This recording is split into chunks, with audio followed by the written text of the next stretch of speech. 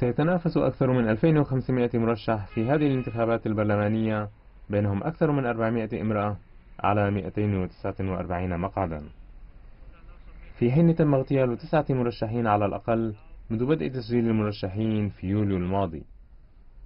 وفقا لتقارير وسائل الإعلام الأفغانية فقد دعت حركة طالبان المسلحة أبناء الشعب إلى مقاطعة الانتخابات البرلمانية زعيمة أنها ستهاجم أهدافا محددة مثل الوكالات الحكومية والجيش الحكومي خلال فترة الانتخابات.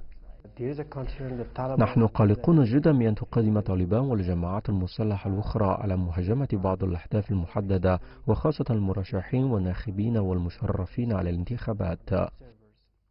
مع اقتراب موعد الانتخابات تعرضت القوات الحكومية لهجمات في مختلف المحافظات بما في ذلك العاصمة كابول. في حين أمست المسائل الأمنية قضية أساسية للانتخابات البرلمانية.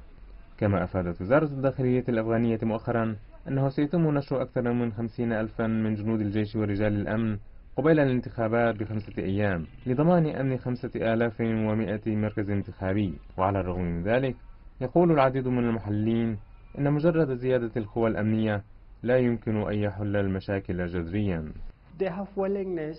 لدى الحكومة إرادة وخطة ولكن السؤال فيما إذا كانت لديهم القدرة على ضمان السلام لا يزال يمثل مشكلة.